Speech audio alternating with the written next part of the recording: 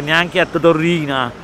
veniva, uh, veniva riservato il trattamento che veniva riservato a Maradona, quando arrivava all'aeroporto gli pignoravano gli orecchini, un'altra volta gli pignoravano l'orologio, lo umiliavano in ogni modo possibile per una presunta uh, cartella esattoriale uh, degli anni Ottanta conoscevo Maradona come giocatore, ovviamente da tifoso. Lui non poteva più tornare a Napoli in quanto perseguitato dal fisco. Io mi impegnai a studiare il fascicolo, feci una ricerca di tutti i documenti risalenti agli anni 80, eravamo già nel 2000, quindi 20 anni di documentazione fiscale, di, di atti da ritrovare, capii che non c'era mai stata nessuna evasione fiscale, che invece c'era stata una grande strumentalizzazione, che si utilizzava il nome di Maradona per fare la battaglia del fisco contro la povera gente. Si dichiarava Maradona evasore fiscale, ma anche e soprattutto perché era napoletano, quindi lui pagava eh, per aver dato lustro e aver fatto vincere Napoli eh, nel mondo. Lui era l'esempio di Napoli, l'emblema di Napoli. Tant'è vero che poi vediamo che proprio la riscossione in quegli anni nasceva a Napoli, cioè Napoli fu il laboratorio per la riscossione dei tributi in una forma molto molto violenta e mi chiese di andarlo a trovare e se vieni a casa mia eh, mi spieghi a me non pareva vero ovviamente che Maradona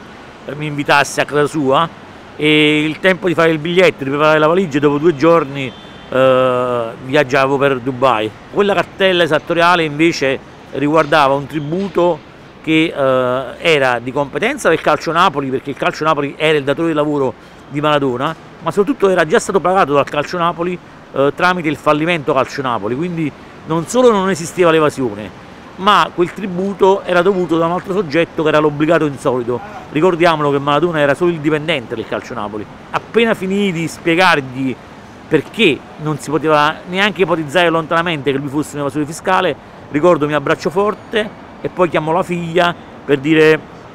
Dalma tuo padre non è mai stato un evasore fiscale e continuava a commuoversi, ma una battaglia nella quale penso abbiamo segnato tanti gol, ma soprattutto abbiamo riportato Maradona a Napoli, Maradona è tornato con me a Napoli, non ha più subito pignoramento dell'orecchino, pignoramento dell'orologio, non è stato più perseguitato dal 2010 ad oggi, eh, ha camminato a Napoli da uomo libero, lo abbiamo portato sul lungomare, a San Carlo con Alessandro Siani, gli abbiamo fatto avere la cittadinanza onoraria napoletana, eh, abbiamo mangiato insieme la pizza, abbiamo rivissuto Napoli come lui amava viverla. La battaglia è durata dal 2010 ad oggi e sarebbe finita a marzo nel 2021, dove la Cassazione doveva esprimere ecco, il verdetto finale sulla sostanza, sul merito della questione e dimostrare al mondo che questa evasione fiscale non c'è mai stata.